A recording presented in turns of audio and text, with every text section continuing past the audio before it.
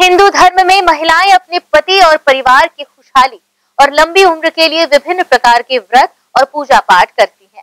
इसी कड़ी में भिलाई में सुहागिनों ने एक बार फिर अपने पति की लंबी उम्र के लिए वट सावित्री का व्रत रखा और पूरे विधि विधान से बरगद के वृक्ष की पूजा अर्चना की हिंदू सभ्यता और मान्यता के अनुसार वट सावित्री का व्रत पति की लंबी उम्र और परिवार की खुशहाली के लिए किया जाता है और इस व्रत में बरगद के वृक्ष के नीचे पूजा अर्चना की जाती है साथ ही वट वृक्ष पर कच्चा सूत लपेटकर अपने परिवार की खुशहाली और पति की लंबी उम्र की कामना की जाती है। भिलाई में भी सुहागन महिलाओं ने इस व्रत को परंपरा अनुसार पूरे विधि विधान के साथ संपन्न किया।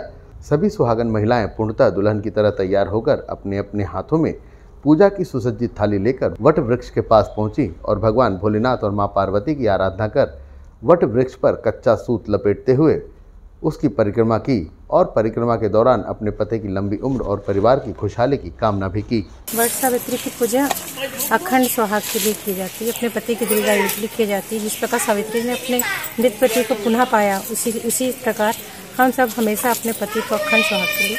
इसमें सबसे ज़्यादा ये धागे का महत्व जो सूत का धागा कहा जाता है, और चना, मोली और पूड़ी और बर के बनाए जाते हैं, जो गुड़ और आटे के बनाते हैं।